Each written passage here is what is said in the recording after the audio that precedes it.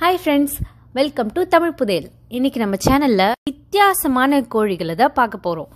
யூஸ்வலா கோழிகள் கறிக்காகவும் முட்டைக்காகவும் உலக அளவில் அதிகமாக பயன்படுத்தப்படுற ஒரு இறைச்சி வகை. அது என்னென்ன வெரைட்டியில் ஒரு கோழிங்க இருக்கு அப்படின்னு சொல்லிட்டு இந்த வீடியோவில் பார்க்கலாம். நம்ம யூஸ்வலாக நம்ம ஊரில் பார்க்குற கோழிங்களை விட இந்த கோழிங்கள்லாம் நிச்சயமாக டிஃப்ரெண்ட்டாக இருக்கும். உங்களுக்கு இந்த வீடியோ பிடிக்கும்னு நினைக்கிறேன். வாங்க வீடியோக்குள்ளே போகலாம். நாம் ஃபஸ்ட்டு பார்க்க போகிற கோழியோட வகை சுமத்ரா சிக்கன் இந்த சுமத்ரா சிக்கன் ஃபஸ்ட்டு சண்டை போடுறதுக்காக சண்டை கோழிகளாக சுமத்ரா தீவுலேருந்து கொண்டு வரப்பட்டது. இதோட ஆன்செஸ்டர் எல்லாமே சுமத்ரா தீவு தான். இது ஃபஸ்ட்டு சண்டை கோழிகளாக பயன்படுத்திகிட்டு இருந்தாங்க. இப்போது இது அழிஞ்சு வரையணுன்றதுனால இது ரொம்ப கேர்ஃபுல்லாக பார்த்துக்கிறாங்க. ஆல்சோ இதோட கறிகள் எல்லாமே விலை அதிகமாக தான் கிடைக்கும். இப்போதைக்கு இது ரொம்ப காஸ்ட்லியான கோழி வகை.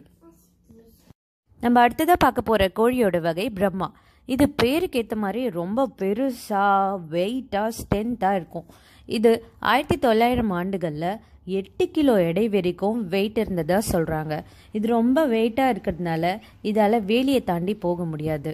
அப்புறம் இது நிறைய வெயிட்டாக இருக்கிறதுனால பெரிய சைஸ் முட்டைகளையும் இடும். இறைச்சிக்காக அதிகமாக இந்த கோழி குளிர் பிரதேசங்களில் ஃபேமஸாக வளர்க்கப்படுது.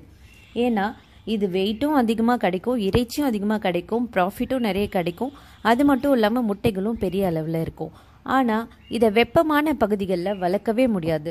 இது உடல் முழுதும் ரொம்ப ரோமம் இருக்கிறதுனால குளிர் பிரதேசங்களில் மட்டும்தான் இது வளரும். இதனாலே இந்த கோழியை மட்டும் கோழிகளோட ராஜா அப்படின்னு சொல்கிறாங்க நம்ம அடுத்ததாக பார்க்க போகிற கோழி டெலாவேர். இந்த கோழி பார்க்கறதுக்கு ரொம்ப அழகாக இருக்கும். இது வந்து ஒரு கிராஸ் பிரீட் செய்யப்பட்ட கோழி. இந்த கோழி பிளாக் அண்ட் ஒயிட் இறகுல ரொம்ப அழகாக இருக்கும். இது வாரத்துக்கு நாலு முட்டை தான் இடும்.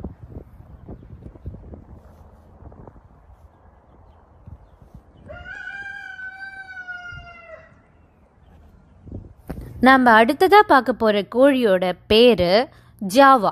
இந்த கோழி ஜாவாங்கிற ஐலாண்ட்லேருந்து வந்தது. அதனாலேயே இந்த ப்ரீடுக்கு பேர் ஜாவானே வச்சுட்டாங்க. இது ரொம்ப அதிகமான முட்டை உற்பத்தி செய்யக்கூடிய திறனுடையது. இதோட உடல் முழுவதும் கருப்பாக இருக்கும். கொண்டை மட்டும் ஸ்பெஷலாக செகப்பாக அழகாக இருக்கும். இப்போ நம்ம பார்க்க போகிற கோழி நேக்கட் நெக் இந்த வகை கோழியில் கழுத்து பகுதியில் ரெக்கை இருக்காது. அப்புறம் கழுத்து வந்து நீண்டு இருக்கும். இந்த கோழி ஏன் இப்படி இருக்குன்னா வான் கோழி கூட கோழியை கிராஸ் பிரீட் பண்ணி உருவாக்கியிருக்காங்க. இதுக்கு மற்ற கோழியை விட ரெக்கைகள் கம்மியாக தான் இருக்கும். இதில் நிறைய நோய்கள் தாக்காது. அது மட்டும் இல்லாமல் இது கொஞ்சம் ஸ்ட்ரென்த்தான கோழி வகை. அடுத்ததாக நம்ம பார்க்க போகிற கோழியோட பேர் பிளைமோத் ராக். இது வரிகுதிரை மாதிரி இருக்கும். இது வந்து ஒரு அமெரிக்கன் பிரீட் இதோட ஸ்பெஷல் என்னென்னா இது ப்ரௌன் கலர் எக்கை அதிக அளவில் இடும். இதோட இறைச்சியும் அதிகமான வெயிட்டோட இருக்கும். ஜாவா ஹென் கூட கிராஸ் பிரீட் பண்ணி தான் இந்த வகை கோழிகளை உருவாக்கியிருக்காங்க. ஏற்கனவே நம்ம ஜாவா பேர்ட் பார்த்துருப்போம். அது ஃபுல்லாக பிளாக் கலரில் இருக்கும். அது கூட கிராஸ் பிரீட் பண்ணி தான் இந்த வகை பிளைமோத் ராக் கோழிகளை உருவாக்கியிருக்காங்க. இது வருஷத்துக்கு இரநூறு எக் வரைக்கும் ப்ரொடியூஸ் பண்ணும். இந்த கோழியோட பேர் ஷாபு இந்த கோழி பார்க்குறதுக்கே ரொம்ப அழகாக இருக்கும். இதோட ஃபெதர்ஸ் பிளாக் அண்ட் ஒயிட்டில் ஸ்பெஷலாக அதோட டெய்ல் பிளாக் கலரில் ஒரு மாதிரி பார்க்குறதுக்கே அழகாக இருக்க கோழி வகைகளில் இதுவும் ஒரு கோழி. இது ஒரு ஜப்பானீஸ் ப்ரீட் இது ஒரு கிலோ வெயிட் வரைக்கும் தான் வளரும். இது நிறைய பேர் பெட்டாக வளர்த்துக்கிட்டு இருக்காங்க. இதோட எக்கே வந்து க்ரீம் கலரில் இருக்கும். இது வந்து காலெல்லாம் ரொம்ப குட்டி குட்டியாக இருக்கும். இது அதிகமாக தோட்டத்தை கிளறி சேதப்படுத்தாது. அதுக்காக தான் இந்த வகையான ஷாபு கோழிகளை ஒரு பெட்டு மாதிரி நிறைய பேர் வளர்த்துட்டு இருக்காங்க நம்ம அடுத்ததாக பார்க்க போகிற கோழி வகையோட பேர் அப்பன்செல்லர். இந்த கோழி வகையோட தலை அழகாக கிரீடம் வச்ச மாதிரி இருக்கும். அப்புறம் அதோட கொண்டை வாய்க்கு கீழே அழகாக ரெட் கலரில் மேலே ஒயிட் கலர் கொண்டைக்கும் இந்த ரெட் கலர் கீழே இருக்க கொண்டைக்கும் பார்க்குறதுக்கு இந்த கோழி ரொம்பவே அழகாக இருக்கும். இது சுவிட்சர்லாண்ட்லேருந்து வரப்பட்ட கோழி வகை. இது பார்க்கறதுக்கு அழகாக இருக்கிறதுனால அழகுக்காக மட்டுமே அதிகமாக வளர்க்கப்படுது. இது அவ்வளவா மற்ற கோழிங்க மாதிரி நிறைய முட்டைலாம் இது இடாது.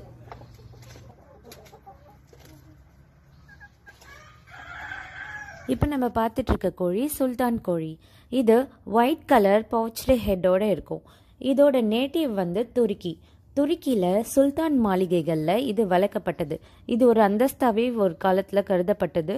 இது அழகுக்காக வளர்க்கப்படுறது மட்டும் இல்லாமல் இது பெரிய வெள்ளை கலர் முட்டையை இடுது. இது பார்க்கறதுக்கே ரொம்ப க்யூட்டாக இருக்கும்.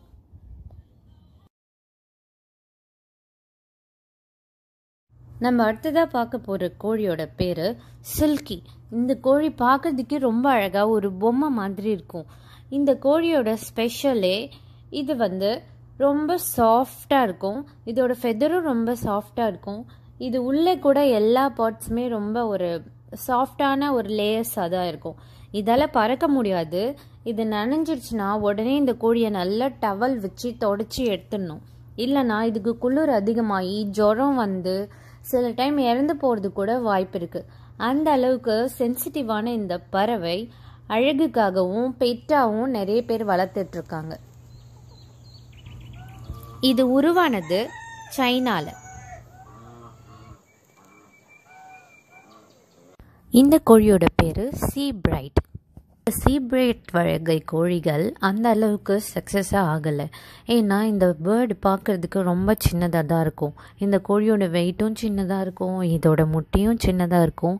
அதனால் இது ஒரு ஆர்னமெண்டல் பேர்டாக ஃபஸ்ட்டு வளர்த்தாங்க. இப்போ இதோட எண்ணிக்கை ரொம்பவே கம்மியாக இருக்குது இது அதிகமாக வளர்க்குறதில்ல. ஏன்னா இதில் இறைச்சியும் கம்மியாக தான் கிடைக்கும் முட்டையும் கம்மியாக தான் கிடைக்கும். ஒரு அழகுக்காக வளர்க்குற ஒரு கோழியாகவே இது வச்சுருக்காங்க. கேரளாவில் சில இடங்களில் இந்த வகை கோழிகள் வளர்த்துட்ருக்காங்க ஓகே ஃப்ரெண்ட்ஸ் இன்றைக்கி நிறைய விதமான கோழிகளை பார்த்துருப்பீங்க. உங்களுக்கு என்னோடய வீடியோ பிடிச்சிருந்தா லைக் பண்ணுங்கள் ஷேர் பண்ணுங்கள் மறக்காமல் என்னோடய சேனலுக்கு சப்ஸ்கிரைப் பண்ணுங்கள் அடுத்தது நான் இன்னொரு இன்ட்ரெஸ்டிங்கான வீடியோவில் உங்களை சந்திக்கிறேன். நன்றி.